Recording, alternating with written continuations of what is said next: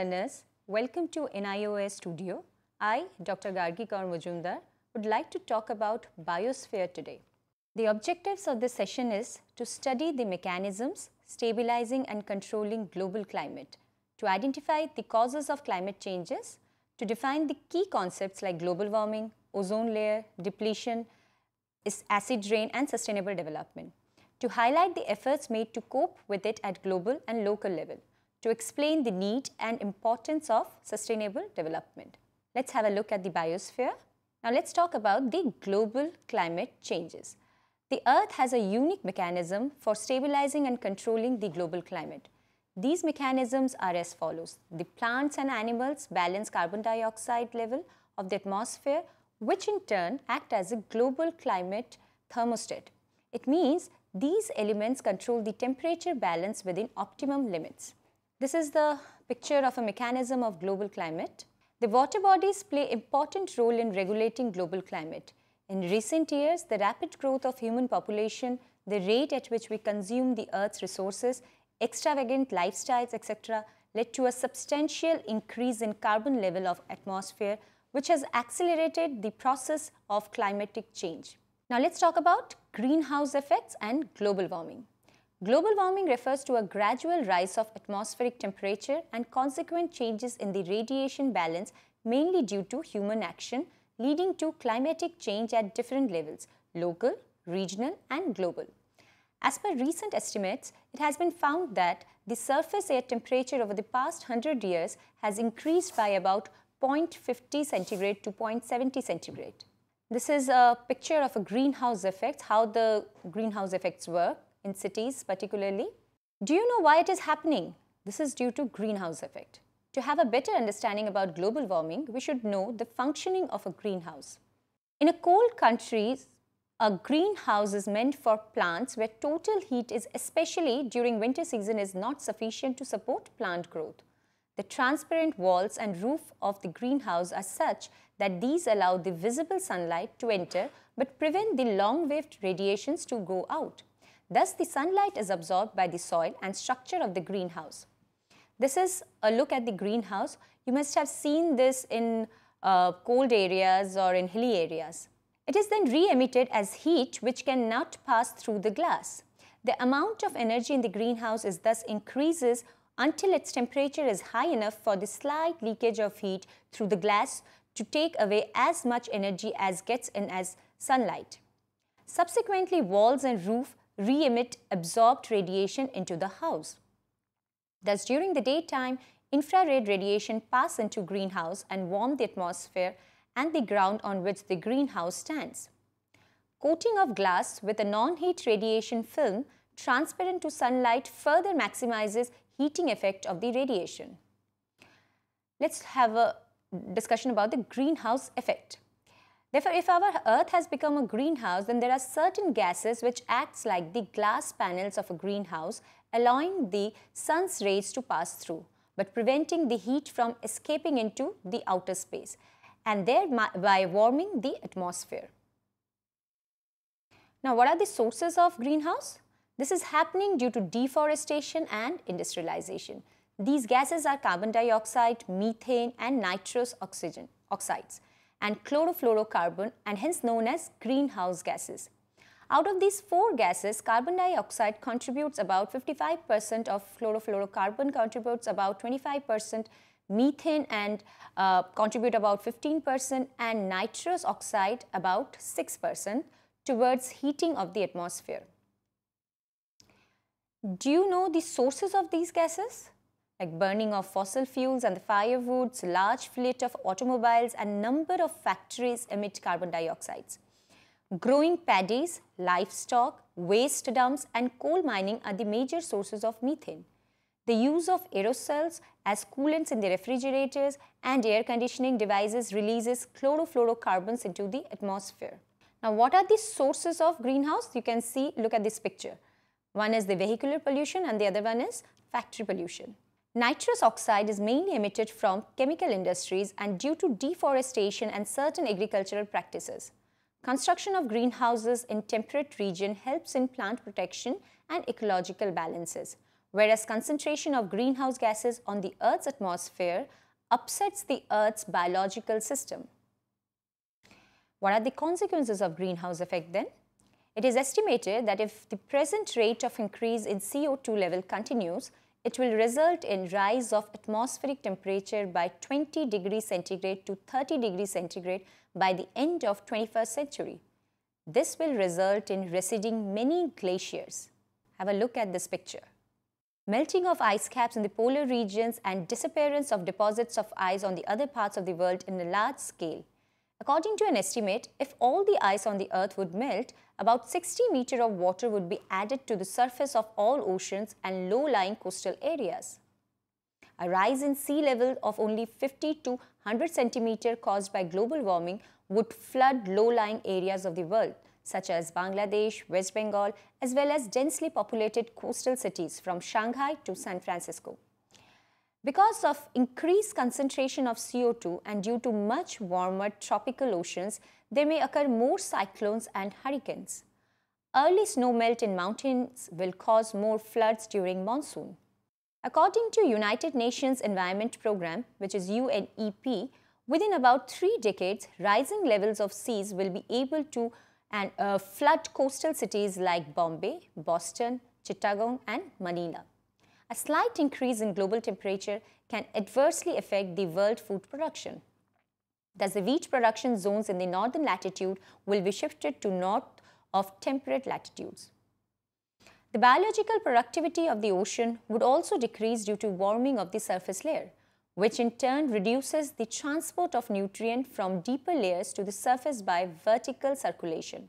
The following measures may be adopted to reduce the ever-increasing greenhouse effect. First, CO2 concentration can be reduced by drastic cut in the consumption of fossil fuels in the highly developed and industrialized countries like United States of America, Japan, and developing countries like China and India. Second, scientific efforts should be made to develop alternative efficient fuels. Methane may be a substitute for petroleum. Development of hydroelectric and thermal powers are better alternatives.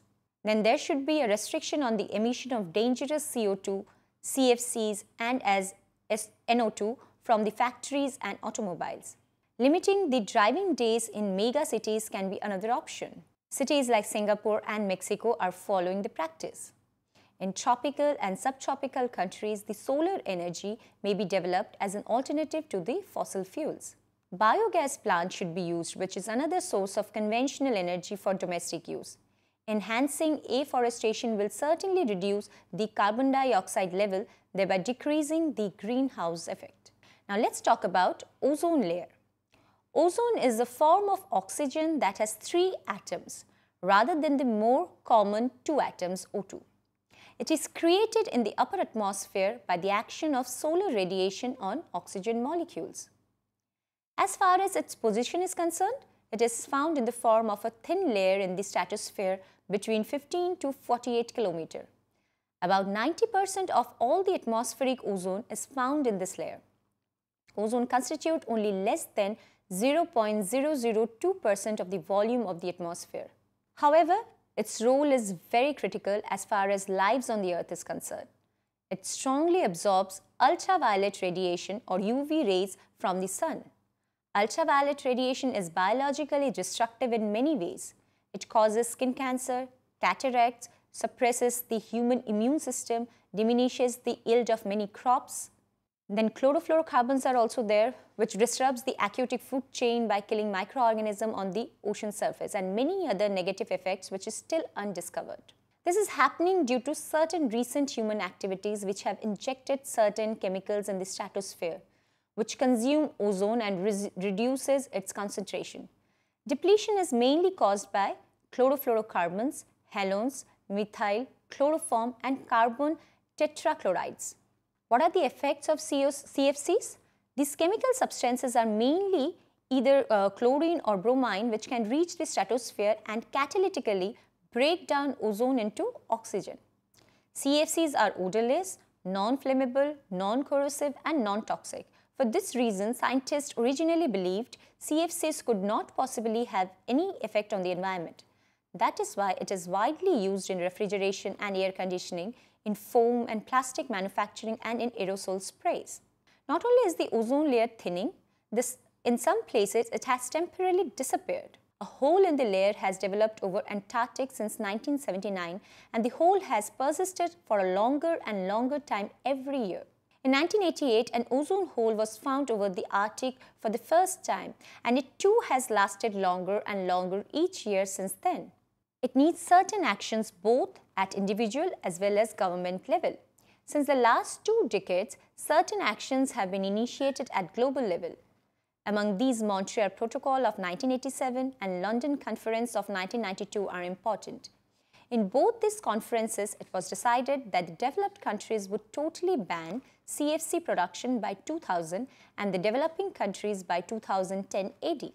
Even if it is sincerely followed and strictly implemented by all the 150 countries including India who are signatory to Montreal Protocol, even then, the chlorofluorocarbon and chlorine shall continue their influence for another 100 years. Therefore, all over the world, research efforts are continuing for development of substitutes of CFCs as coolants for refrigeration and air conditioners. The term acid rain. Now, what does it mean? It refers to the deposition of wet or dry acidic materials from the atmosphere or the Earth's surface. Although most conspicuously associated with rainfall, the pollutants may fall on Earth's surface either in the form of snow, sleet, hail or fog or in the dry form of gases or particulate matter. Sulfuric acid and nitric acid are considered as the principal agents responsible for acid rain, but the major culprits are human beings. This is a pictorial representation of acid rain. Smokes emitted from the industries is the major source of sulfur dioxide, whereas smokes emitted from the motor vehicles is the major source of nitrogen oxide. These emissions mixed with atmospheric moisture from the sulfuric acid and nitric acids, which sooner or later precipitate on the earth in various forms. Acidity is measured on a pH scale based on the relative concentration of hydrogen ions. The scale ranges from 0 to 14 where the lower end represents extreme acidity and the upper end extreme alkalinity. There is a diagram uh, after this, you can have a look at it. As stated earlier, acid rain is associated with various forms of precipitation. If we look at rainfall in clean and dust-free air, a pH value varies between 5.6 to 6, which is slightly acidic in nature. Whenever or wherever the pH value is below 5.6, then the damage becomes noticeable. This is the diagram I was talking about that shows the uh, pH scale. The long-term effects of acid precipitation on human health and agriculture production have not yet been ascertained precisely. However, the most conspicuous damage is being done to aquatic ecosystem. The ecosystem of a stream or lake may be severely affected when, it is pH, when its pH falls below 5 total biomass in such system is reduced from 2 to 10 times because few orga organisms can tolerate acid. The diversity of species also decreases. The most severe effect of acidification is on fish. Acidic conditions affect the reproductive capabilities of fish, resulting in a slow decline of fish population. This has been documented in various parts of Europe and North America. In Norway, thousands of lakes and streams have largely lost their fish population over an area of 33,000 square kilometer. What are other impacts of acid rain? Several lakes in eastern United States and Canada have become biologically deserts during the last quarter century. The precise effects of acid rain on forests are not clearly understood. Evidence, however, shows that it is responsible for forest dieback which is occurring in each continent. This picture shows the forest dieback. Forest dieback is a German word which means death or decline of forest. Even buildings and monuments are being destroyed because acid deposition accelerated erosion capacity. Acid rain is a serious global problem and its impact can spread over long distances from the origin of the pollutant. That is why Scandinavian countries complain about British pollution in Europe, whereas Canadians blame United States in North America. Now let's talk about sustainable development, which is very much required in today's time. Today, the world has made a lot of progress. Human beings, with the help of technological advancement and consumption of energy resources, have made many inventions and discoveries to make their life more and more comfortable. At present, without technology and mineral and power resources, we cannot think about the life. It has entered into a large scale in almost every sector, be it agriculture, industry, transport, communication and domestic. Even the situation is such that our ecology is in danger. If we continue in this fashion, most of the minerals and power resources will be consumed within next 100 years. Simultaneously, it has affected and endangered four components of the ecosphere. These are the climatic systems, the hydrological cycles, the nutrient cycle and the biodiversity. The situation has worsened to that extent that the resources which are considered renewable become non-renewable. Let us explain this with one example. Take the case of Yamuna water in Delhi. Take the case of Yamuna water. We have polluted the water to such an extent that this water cannot be consumed despite treatment. Same is the case with air, soil, etc.